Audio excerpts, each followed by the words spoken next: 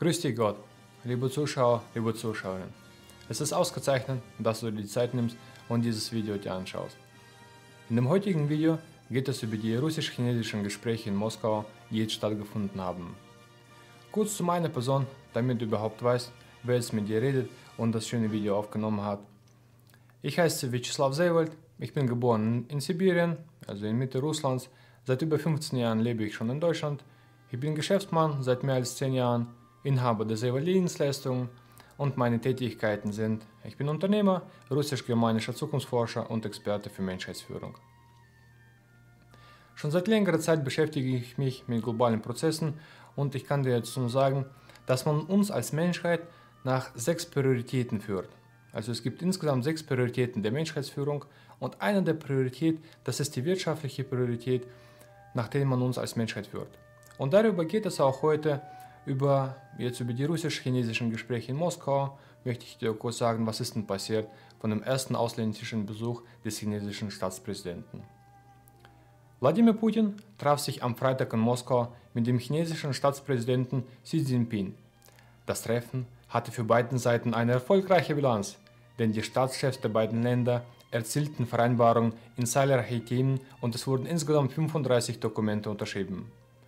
Falls du mehr darüber wissen möchtest, welche Dokumente unterschrieben wurden, unter dem Video findest du weitere Informationen. Ein Zeichen auf eine diplomatische Art und Weise für die Weltgemeinschaft war das natürlich auch, dass der erste ausländische Besuch des chinesischen Staatspräsidenten nicht in die USA oder Europa war, sondern nach Russland. Das zeigt eindeutig, welchem Land China die oberste Priorität in der Zusammenarbeit einräumt, was natürlich von der russischen Seite gern gesehen wird. Bei den Gesprächen in Moskau bezeichnete Xi Jinping die Beziehungen mit Russland als eine umfassende strategische Partnerschaft und das Hauptziel seines Russlandsbesuchs bestand darin, die Beziehungen zwischen den beiden Ländern einen neuen Impuls zu verleihen und die strategische Partnerschaft noch enger zu vertiefen. Als Ergebnis der Gespräche in Moskau wurde vereinbart, eine noch engere Kooperation in den Hochtechnologiebereichen wie Raumfahrt, Informationstechnologien und Flugzeugbau und natürlich eine noch größere Lieferung der russischen Ressourcen nach China. Die Staatschefs haben sich darauf geeinigt, die Möglichkeiten der russisch-chinesischen Informationsfonds aktiver zu nutzen. Den Hauptakzent wollen die auf die Infrastrukturen und Produktionsprojekte im fernen Osten der Russischen Föderation legen. Denn schließlich muss ja Russland schauen, dass die den fernen Osten die dort die Wirtschaft aufbauen, damit die Menschen von da nicht wegfahren, sondern dort bleiben. Oder dass andere Menschen aus anderen Regionen Russlands oder der ganzen Welt dorthin ziehen, um dort zu leben und zu arbeiten. Im Moment lebt der Großteil der Russen im westlichen Teil. Ab Ural in Richtung Osten leben maximal nur 30 Millionen Menschen.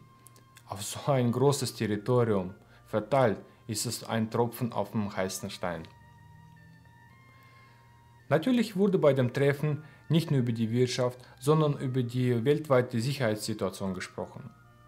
Nach dem Treffen sagte der chinesische Stadtchef, Chinesisch-russische Beziehungen sind eine gute Garantie der Sicherheit in der Welt. Und Wladimir Putin fügte hinzu, wir werden auch weiterhin künftig unsere Schritte in regionalen und internationalen Angelegenheiten abstimmen. Xi Jinping sagte, dass China und Russland müssen ihr strategisches Zusammenwirken auf der internationalen Bühne verstärken und gemeinsam die Prinzipien der UNO-Charta verteidigen.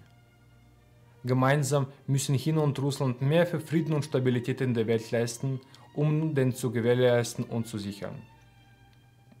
Als Fazit nach dem Besuch in Moskau des chinesischen Staatspräsidenten kann man sagen, dass Russland und China ihre wirtschaftlichen Beziehungen weiter vertiefen.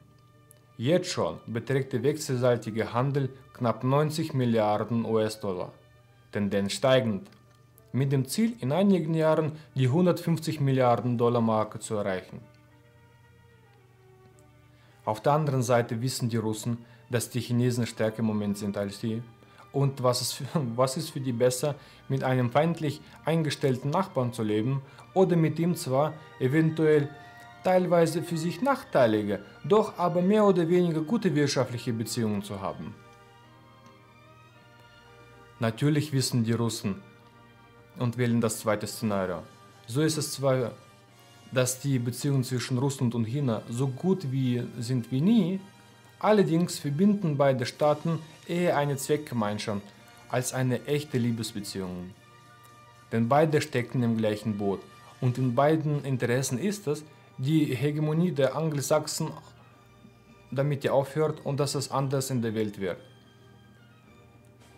Russland und China sind beide Mitglieder der BRICS und wollen diese Plattform noch enger und stärker nutzen, um auf der Welt das gegenwärtige System zu reformieren. Auf der anderen Seite wissen die Russen, dass die Europäer ihnen bei jeder guten Gelegenheit sofort in den Rücken fallen können und zum Beispiel als Druckmittel weniger Ressourcen aus Russland kaufen, weil im Moment für Russland Europa der wichtigste Absatzmarkt für seine Ressourcen ist. Die Abhängigkeit Russlands von Europa ist noch zu stark, deswegen die wirtschaftliche Expansion der Russen nach Osten. So machen die Russen den Schwerpunkt ihrer wirtschaftlichen Expansion nach Osten, um im Westen den längeren Hebel des Einflusses zu behalten und sich nicht so leicht erpressen zu lassen. Gleich nach den gemeinsamen Gesprächen haben Xi Jinping und Wladimir Putin die Eröffnungsfeier zum chinesischen Tourismusjahr in Russland besucht. Das zeigt, dass, die, dass Russland und China auf anderen Sphären kooperieren und ihre Partnerschaft weiter ausbauen wollen.